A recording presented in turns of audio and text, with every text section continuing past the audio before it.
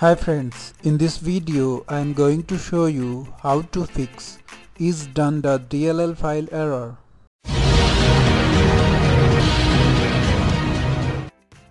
In order to fix this error, open Google and search isdone.dll.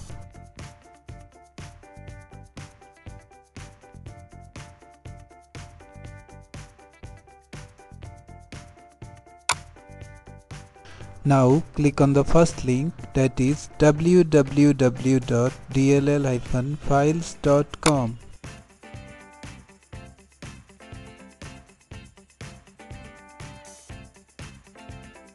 Now go to the bottom of this website. Click on download zip file option.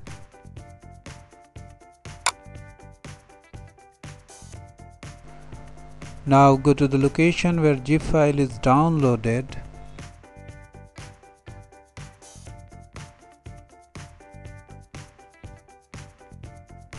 Open this zip file.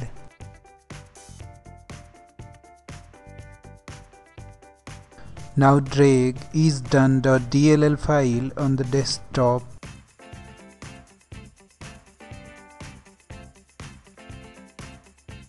copy this file.